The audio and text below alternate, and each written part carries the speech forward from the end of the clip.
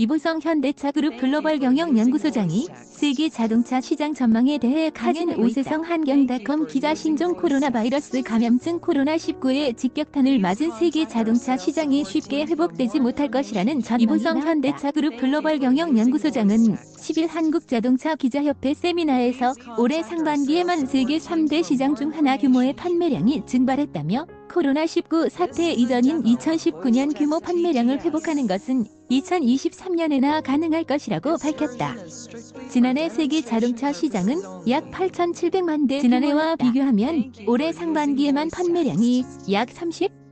소수로는 1200만 하반기 전망도 긍정적이진 않다. 미국에서 코로나19가 재확산 조짐을 보이고 있으며 중남미에서도 빠르게 확산되고 있다. 러시아, 아세안 등 신흥시장의 판매량도 가파르게 이 소장은 미국, 중국, 유럽의 세대 자동차 시장의 판매량 회복이 더딘 가운데 신흥시장 판매량도 쪼그라들며 올해 세계 자동차 시장이 20?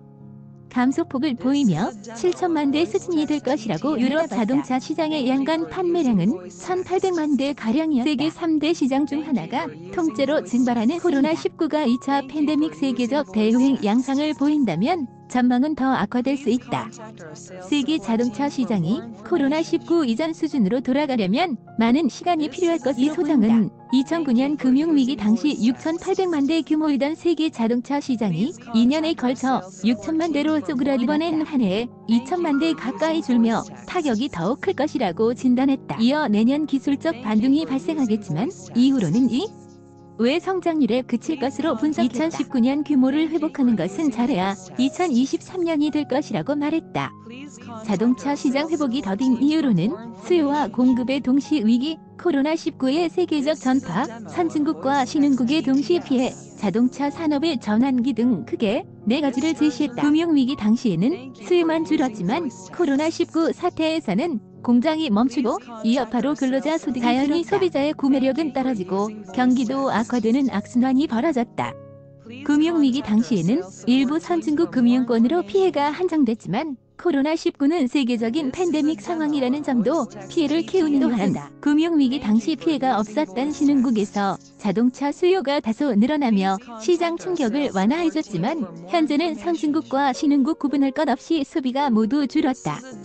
자동차 산업이 자율주행과 전기차 중심으로 변모하는 전환기에 있다는 점도 문제다. 이미 내연기관 자동차 보급률이 높아 차량 수요는 감소하고 있다. 자동차 제조사 입장에서는 전동화에 대비하기 위한 투자가 이루어져야 하는데 판매가 줄어든 탓에 투자 여력이 감소하고 전기차 전환이 늦어지는 악순환을 기존 설비와 기술로 생산할 수 있는 내연기관 자동차의 소비는 점차 줄어들고 미래차 시장 창출은 늦어지는 것이다. 국내 시장 전망도 암울하기는 마찬가지. 한국의 자동차 생산량은 지난해 400만 대 아래로 떨어졌다. 올해는 340만 대에도 미치지 못할 것이라는 전망이 나온다. 지난해 내수 판매량은 179만 5천 대에 그치며 지난 4년간 유지해온 연 180만 대 규모를 미 코로나19 사태가 발생한 올해는 추가적인 시장 감소가 예상된다. 이 소장은 올해 내수 시장은 마이너스 5% 기록할 전망이라며 국내 자동차 산업은 400만 대를 생산해 200만 대 이상을 수출하는 구조 내수 감소는 물론 수출도 30에서 40 감소세가 유지돼 국내 업계가 어려움을 겪을 것이라고 분석했다. 또 국내 업계에서 공장을 세우는 곳도 있을 듯하다고 덧붙였다. 우세성 한경닷컴 기자 SESUNG 한경.com 기사 제보 및 보도자료 오픈 앱 한경.com